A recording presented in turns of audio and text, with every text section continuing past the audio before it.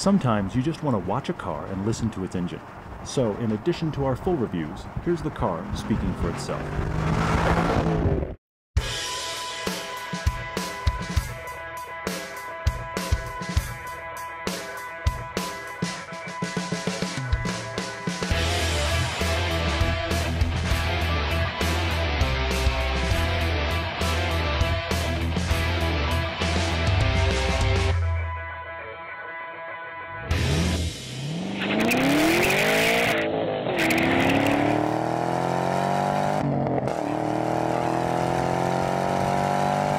you